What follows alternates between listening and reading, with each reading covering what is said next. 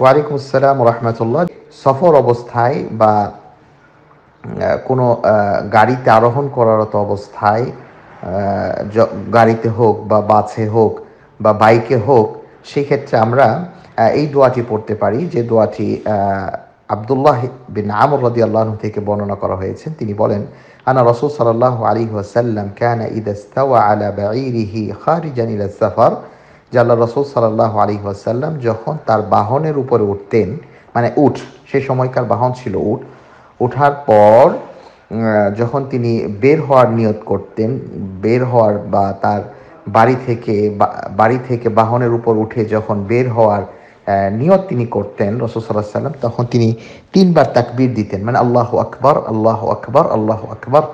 এইভাবে তিনবার তাকবির দিয়ে তিনি তারপর বলতেন এই দোয়াটি পাঠ করতে সুবহান আল্লাযী সাখখারা লানা হাদা ওয়া মা কুন্না লাহু মুকরিনিন ওয়া ইন্না ইলা রাব্বিনা লামুনকালিবুন اللهم إنا نسألك في سفرنا هذا البر والتقوى ومن العمل ما ترضى اللهم هون علينا سفرنا هذا واطي عنا بعده اللهم أنت الصاحب في السفر والخليفة في الأهل اللهم إني أعوذ بك من وعثاء السفر وكآبة المنظر وسوء, وسوء المنقلب في المال والأهل আহ, এই দোয়াটা আল্লাহ রসুল সাল্লাহ আলী ওয়াসাল্লাম পড়তেন এবং যখন তিনি বাড়িতে ফিরে আসতেন, এই দোয়ার সাথে তিনি আরেকটু যোগ করতেন ইবুন ইবুন আবিদুন আলী রব্বিনা হামিদুন।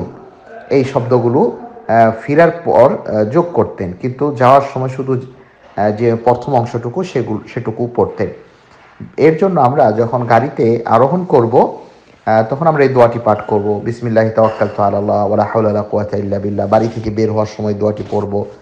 তারপর গাড়িতে উঠে, সুবহানাল্লাযী সাখখারা লানা হাযা ওয়া মা কুন্না লাহু এই যে দোয়াটি রয়েছে, এই দোয়াটি আমরা পড়ব। এটা সহিহ হাদিস দ্বারা প্রমাণিত।